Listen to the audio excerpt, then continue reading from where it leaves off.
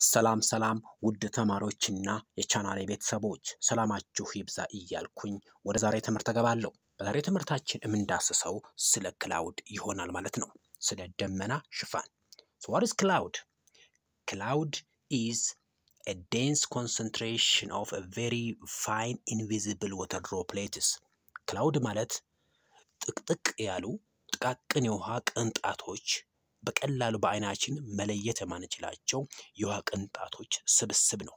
ይህም sleet ሊይዝ ይችላል። sleet ማለት ice ወይንም water droplet ማለት ነው። ሁለቱ ደምሮ አንድ ላይ ሲይዝ sleet ተብሎ ይጠራል። or ice crystals ወይንም የበረዶ ቅንጣቶች ሊሆኑ ይችላሉ ማለት ነው። የእነዚህ ድምር አንድ ላይ ምን ተብሎ ይጠራል? cloud ይባላል። ስለዚህ cloud is dense concentration of very fine invisible water droplets sleet or ice crystals ይሆናል ማለት ነው። cloud are formed by condensation of water vapor below dew point in the atmosphere። እንግዲህ cloud የሚከሰተው condensation በሚባል process ወይንም የውሃ ዑደት ሂደት ነው።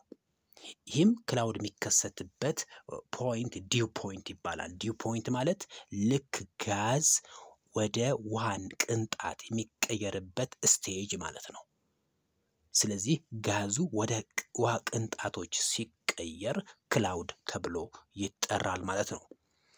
there are varieties of clouds based on height appearance and shapes እንግዲህ የደመናዎችን ቅርጻቸውን በማየት እንዲሁም ከፍታቸው በማየት ወደ ተለያየ group እንከፍላቸዋለን ማለት ነው። እንግዲህ groups of cloud በአራት ይከፈላሉ ማለት ነው። የመጀመሪያ high clouds፣ middle cloud፣ low cloud እና vertical cloud ተብሎ ይጠራሉ ማለት ነው። high clouds ብለን የምንጠራቸው ከፍታቸው ከስድስት ሺህ ሜትር በላይ ያለ ሜትር በላይ ያለ ስፍራ ላይ የሚገኙ የደመና ሽፋኖች ናቸው። እነዚህ የደመና ሽፋኖች thin wispy filaments or curl mostly composed of ice crystal ብዙ ጊዜ ከበረዶ ግግር የሚሰሩ የደመና አይነቶች ናቸው። እንግዲህ high cloud የምንለየው ከመጀመሪያ ፊታቸው ወይንም prefix ኣቸው ላይ cirrus የሚላለ cirrus cirrocumulus ብለን ልንለያቸው እንችላለን ማለት ነው። cirrocumulus እና cirrus cloud ኦች high clouds ብለን እንጠራቸዋለን ማለት ነው። ሁለተኛው የደመና አይነት ደግሞ middle clouds ይባላሉ። እነዚህ middle cloud ኦች መገኛቸው ከ2000 ሜትር እስከ 6000 ሜትር ከፍታ ያሉ ናቸው ማለት ነው። እነዚህ cloud ኦች alto በሚል ስም እናውቃቸዋለን ማለት ነው። ከፊታቸውን prefix ኣቸው alto የሚል ስም ካገኛችሁ middle cloud ነው ማለት ነው። altocumulus ወይንም altocumulus ወይንም altostratus የሚል ይሆናል ማለት ነው። ስለዚህ እነዚህ cloud ኦች alto or altostratus altocumulus or altostratus ሊሆኑ ይችላሉ ማለት ነው። middle size puffy patch scattered የተበታተኑ የሆኑ እንዲሁም linear band ያላቸው ቀጭን መስመር አይነት ያላቸው የደመና አይነቶች ናቸው ማለት ነው። በአጠቃላይ እነዚህ middle cloud ኦች ተመሳሳይነት ያላቸው የደመና ሽፋኖች ናቸው። በጣም ቀጭን የሆኑ ስስ የሆኑ thin እና ዩኒፎርም ተመሳሳይ የሆኑ የደመና አይነቶች ናቸው ማለት ነው። በሶስተኝነት ደረጃ የምናያቸው cloud type ኦች low clouds ይባላሉ። የሚገኙበት ከፍታ ከሁለት ሺህ ሜትር በታች ነው መገኛቸው ማለት ነው። እነዚህ cloud type ኦች ለምሳሌ ከፊታቸው የምናገኘው strato የሚል እናገኛለን ማለት ነው። ስማቸው እንዳጠቃላይ strato፣ stratocumulus፣ stratus፣ nimbostratus ብለን ልንለያቸው እንችላለን ማለት ነው። እነዚህ cloud type ኦች broad እና flat ናቸው። በጣም ሰፊ የሆነ ቦታ የሚሸፍኑ እንዲሁም ጠፍጣፋ የሆኑ ናቸው ማለት ነው።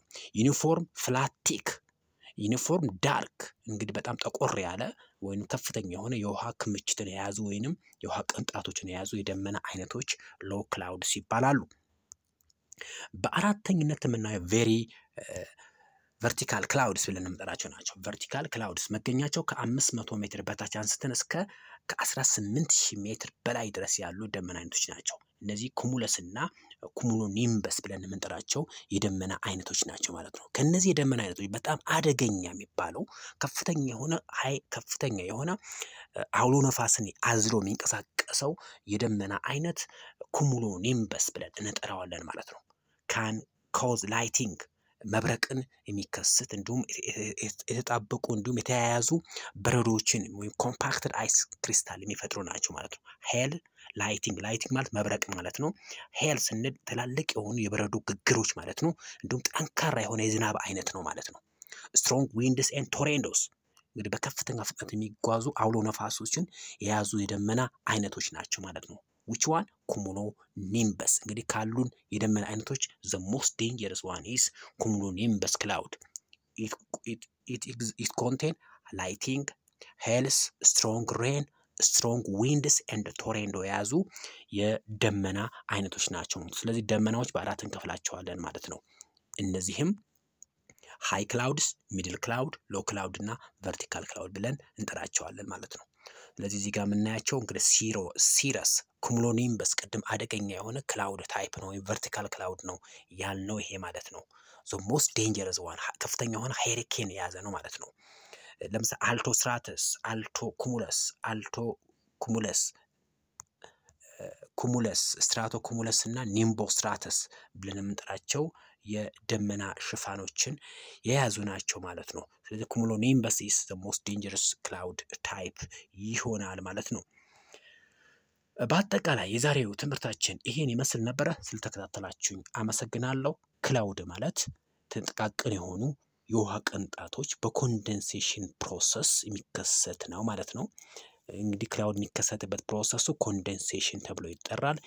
cloud ልክ ወደ cloud የሚቀየርበት stage ደግሞ dew point ተብሎ ይጠራል። ዓለማችን ላይ አራት አይነት cloud ኦች አሉ። እነዚህም high clouds፣ middle cloud፣ low cloud እና vertical cloud ተብለው ይጠራሉ ማለት ነው። ስለተከታተላችሁኝ አመሰግናለሁ bye